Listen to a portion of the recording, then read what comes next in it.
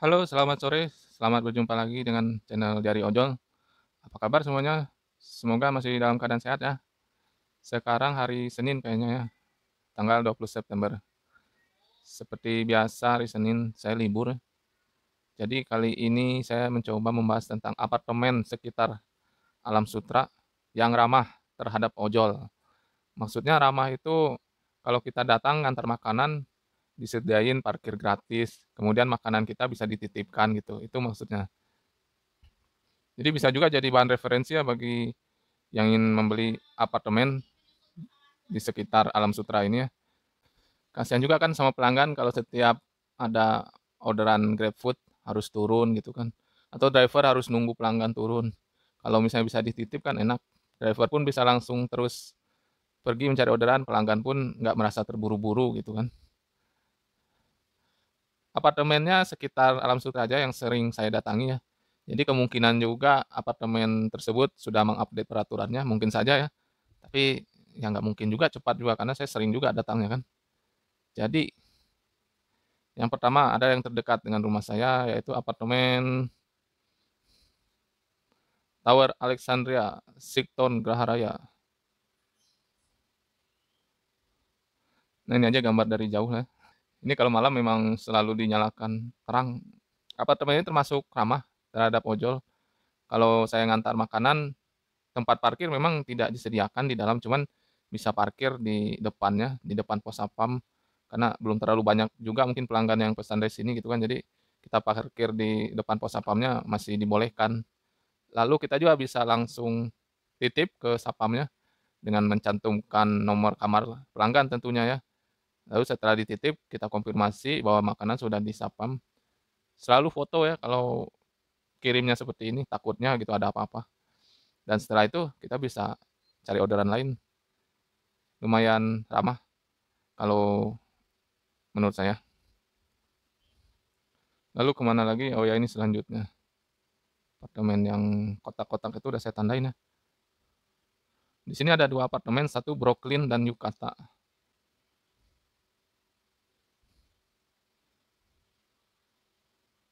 Nah ini dia apartemen Brooklyn kalau dilihat dari jalan ya.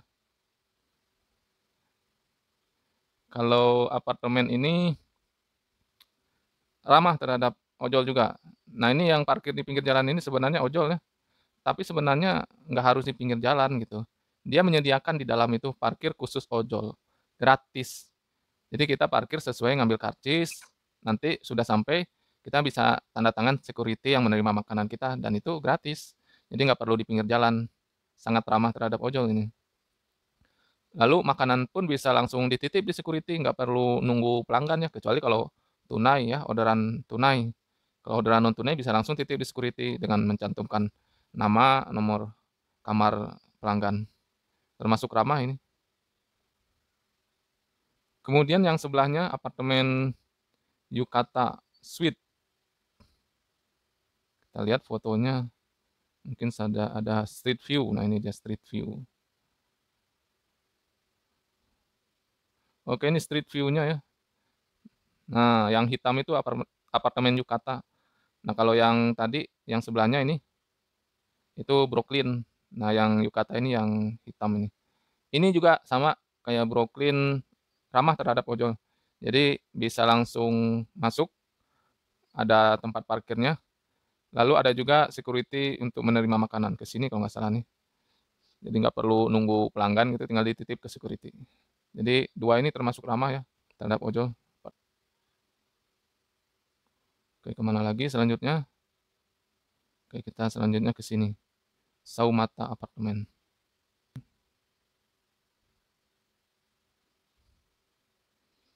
Oke. Oke, ini dia apartemennya, Saumata apartemen. Nah, yang hitam ini tinggi menjulang dia. Nah, kalau di sini agak eksklusif dia ya. Jadi kalau kita ngantar makanan, kalau nggak mau parkir di pinggir jalan ya masuk ke sini sekitar ini. Nah, ini masuk di sini parkirnya jadi kita jalan ke sini. Nggak terlalu jauh tempat parkirnya. Di security kita bisa juga titip makanan dan harus memang. Dan di sini juga ada restoran ya di Saumata ini. Jadi kalau Anda dapat orderan ke sini harus buka jaket. Jadi agak eksklusif gitu apartemennya. Jadi kita harus buka jaket kalau ada orderan. Tapi kalau cuma ngantar makanan cukup di pos security ini aja. Kasih di security. Kemudian lanjut ke ini. Secret Resident dan Paddington Hedge. Pertama Secret Resident dulu ya.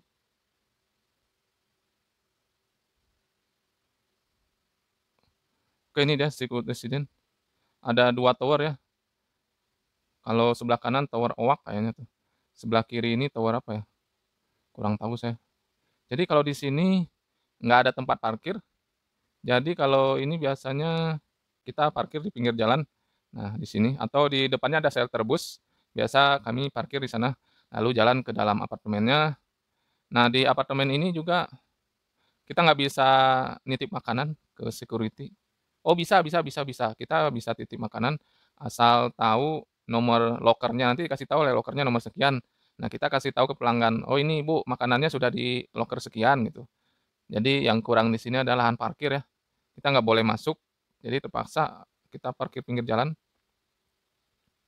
Lalu sebelahnya apartemen Paddington Hedge.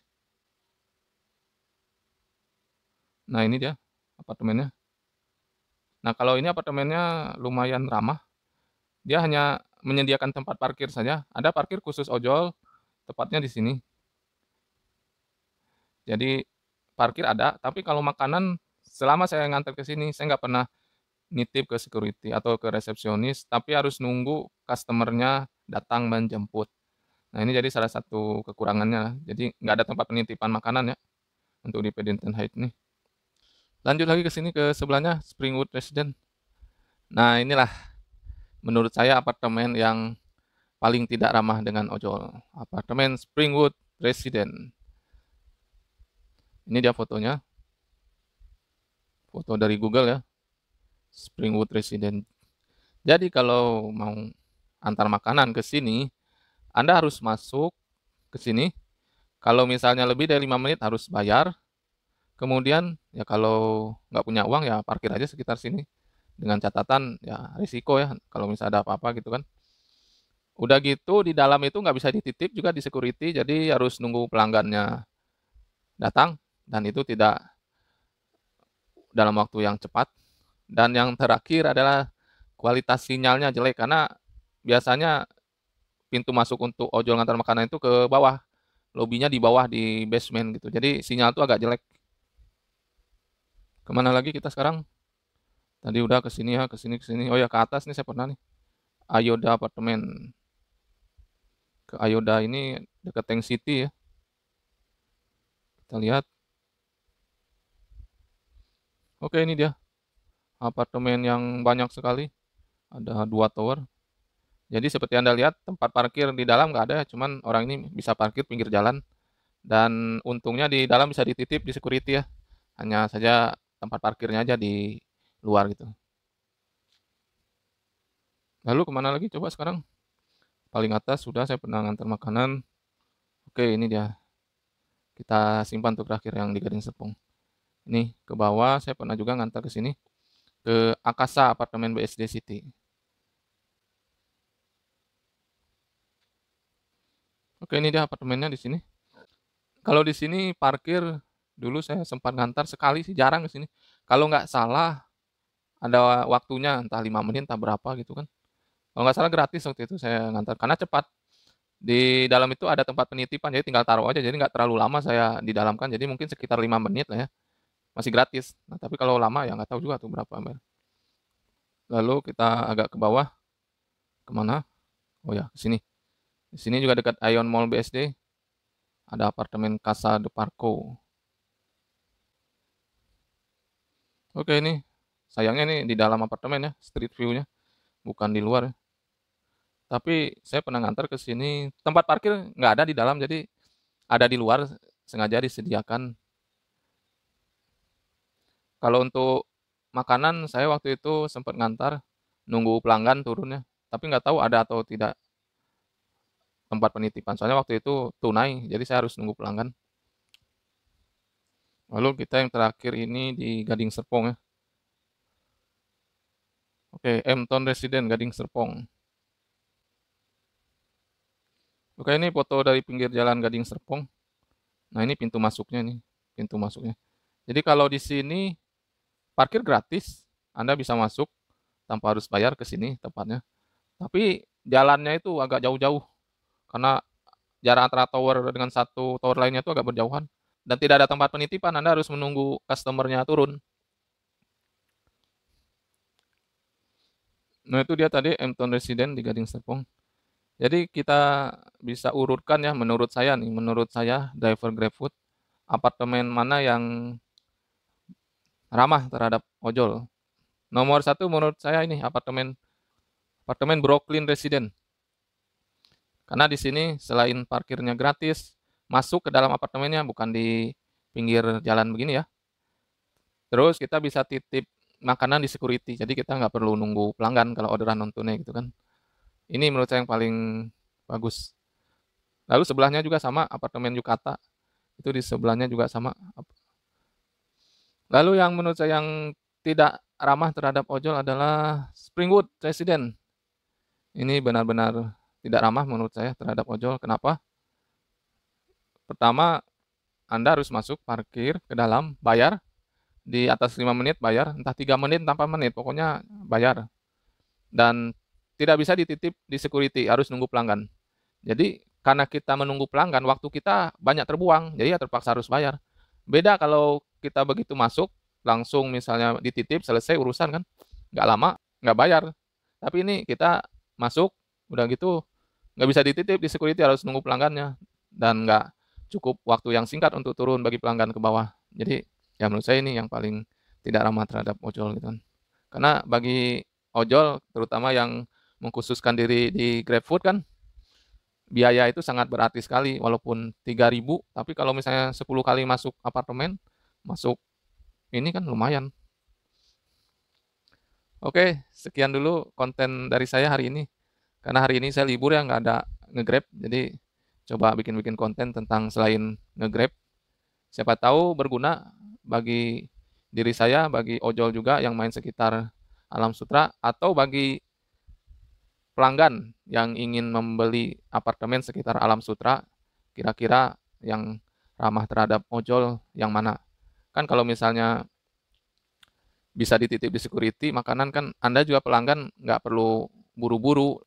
Mungkin Anda sedang tidak lihat, tidak pegang HP, jadi datang telepon atau sinyal telepon di area apartemen itu jelek, jadi kan susah dihubungi. Jadi kalau misalnya bisa dititip di security kan kendala-kendala tersebut nggak akan terjadi gitu. Anda tinggal lihat aplikasi, oh udah diantar. Kira-kira 5 menit, 10 menit lagi udah diantar. Jadi nggak harus terjadi kendala-kendala seperti yang saya sebutkan di atas. Mungkin teman-teman ada yang tahu apartemen sekitar Alam Sutra atau Tangerang ya yang belum disebutkan di video ini. Bisa komen di kolom komentar ya. Nanti saya update di kolom deskripsi. Tapi di Tangerang saja ya, jangan nanti apartemen yang di Surabaya, di Papua, atau di Aceh. Oke, terima kasih sudah menonton video saya. Jangan lupa subscribe, share, di like, di komen. Selamat sore, selamat ngegrab bagi yang lagi ngegrab. Selamat beristirahat bagi yang lagi libur. Sampai jumpa di konten saya selanjutnya.